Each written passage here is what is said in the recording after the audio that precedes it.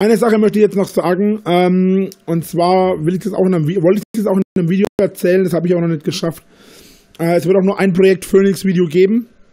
Und dann anschließend äh, nach dem Projekt Phoenix Video äh, wird es ganz normale Videos geben. Das heißt für mich äh, viel Arbeit, weil es werden solche Videos sein wie Time of Metal, Vier Drachen und der Metal äh, oder auch Drachenlord. Wobei immer unterschiedlich ist, was für ein Video kommen wird. Und Vier Drachen der Metal, also das ist ja, es ist nur die Art des Formats. Also es sind so Kurzfilmvideos, sollen es werden.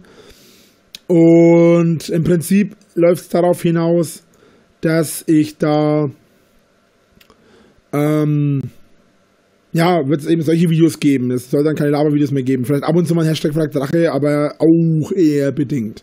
Gut, eine Sache, die ich noch kurz anquatschen wollte, und zwar äh, eine Sache, die mir in letzter Zeit ziemlich stark unter den Nägeln brennt. Oder in den Haaren. Tja, ähm, die Sache mit dem guten Lord Abaddon damals. Dankeschön für die 1000 Barren. Die Sache mit Lord Abaddon damals äh, würde ich gerne mal kurz ansprechen. Äh, viele, die momentan zu mir sagen, Pedolord und so weiter, ja, wobei ich die Hätte nur verarscht habe. Bei ihm weiß ich es nicht, deswegen sage ich dazu nichts äh, in die Richtung.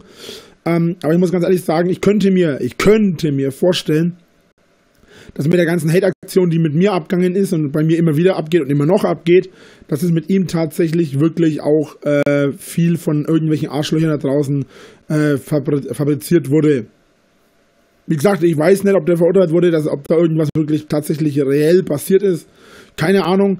Aber ich sage nur, dass es wahrscheinlich auch im dass es auch sehr gut für mich möglich ist, im Rahmen des Möglichen liegt, wie auch immer, dass das definitiv irgendeine Scheiße war, die irgendwelche Leute abgezogen haben. Gut. Äh, zum Thema, ich bin arrogant, ich bin ein Riesenarschloch. Ja, das bin ich. Im Internet auf jeden Fall. Real Life sieht ein bisschen anders aus, aber da kennt er mich ja Gott sei Dank nicht.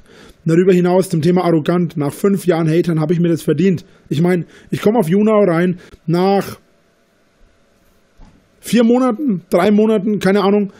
Und bin immer noch auf, bin schon wieder direkt auf Platz, Platz 1, habe hier im besten Moment 900 Zuschauer gehabt oder fast 1000 Zuschauer gehabt, habe hier immer noch 791 nach über einer Stunde 21. Ich glaube, ich habe es mir auch mal verdient, definitiv arrogant zu sein. Real Life bin ich ein bisschen anders, aber da kennt ihr mich ja Gott sei Dank nicht. Vielen Dank dafür. Danke dafür, Iblali. Haut rein, euer Drache, bis dahin und tschüss.